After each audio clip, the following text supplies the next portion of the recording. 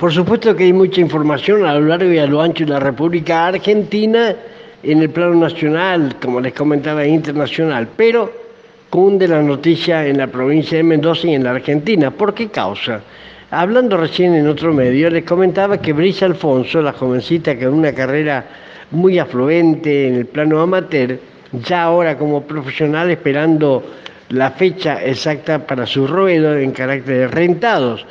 Y entonces yo hablando con ella precisamente anoche, ella muy entusiasmada, recordando a mi amiga Marcela Eliana Acuña, y en este caso la Tiresa Acuña, como así también locomotora Olivera, la jujeña, eh, radicada en Santa Fe. Locomotora Olivera es una joven mujer luchadora, por cierto, perseverante, y que ha logrado conseguir los títulos precisamente la Organización Mundial de Boxeo, Consejo Mundial de Boxeo, Asociación Mundial de Boxeo, realmente una gladiadora de élite.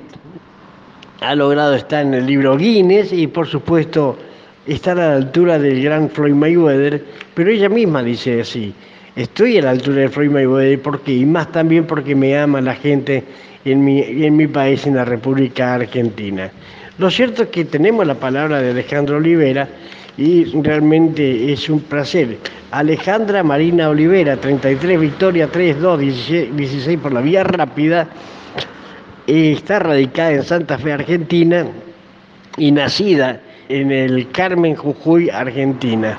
Su papá mendocino, sus raíces mendocinas.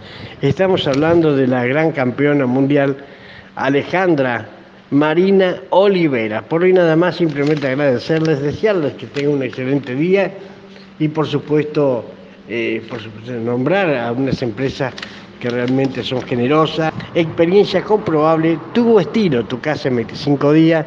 En Balcarce 447 San Martín Mendoza, un teléfono de contacto 261 511 0441. Omar Quiroga Fernández, arroba yahoo.com.ar con hotmail y gmail, la misma dirección. Lo dejamos por supuesto con la palabra de Alejandra Marina Olivera. Soy la locomotora y quiero mandarle una piña con amor, con cariño, con energía positiva para Omar Box de Mendoza, para toda su audiencia, para toda la gente que lo sigue. Y yo soy una gran seguidora de Omar. Omar, beso a vos y a todos los mendocinos y mendocinas que pusieron los huevos al sol. Les deseo un excelente 2023. Fuerza, garra, ganas, amor, paciencia y paz.